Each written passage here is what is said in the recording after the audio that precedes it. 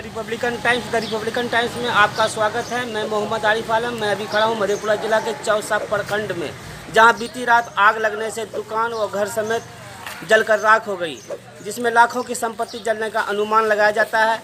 यह चौसा बाज़ार निवासी संतोष भगत के घर घर में तो आग लगी थी, जिसमें दुकान भी थी। दुकान में रखे सारे सामान व नकदी समेत लगभग चार लाख रुपए की संपत्ति जलकर राख हो गई है। आग लगने से पूरे परिवार अब में आहत पूरा गम भरा हुआ है। आग पर काबू उस समय पाया पाया गया जब चौसा की गश्ती दल चौसा थाना की गश्ती दल बाज़ार होके जा रहे थे उन्होंने देखा कि दुकान में आग लगी और उन्होंने ही आग बुझाने का प्रयास किया तथा आसपास के लोगों को सूचना दी जिस पर जिसके बाद आग पर काबू पाया गया। संजोग बस यह समय रहते आग पर काबू पाया, पाया गया नहीं तो पूरा चौसा बाज़ार कितनी दुकानें जलकर राख होती इसका अनुमान लगाना बहुत मुश्किल है। तो लोग बारह बजे तक जगे रहता। है और आपको फ़ोन नहीं किया था? फ़ोन उसको क्या ज़रूरी फ़ोन कर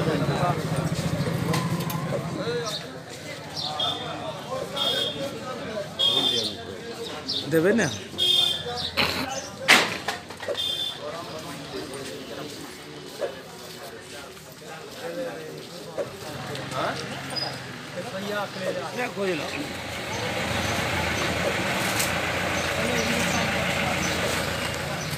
अपन यहाँ अपन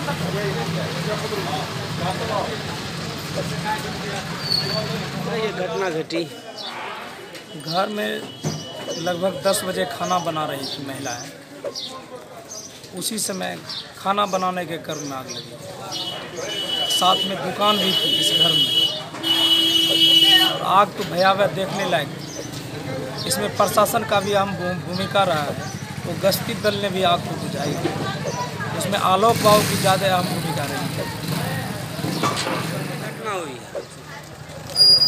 खाना वाना बनाने के क्रम में।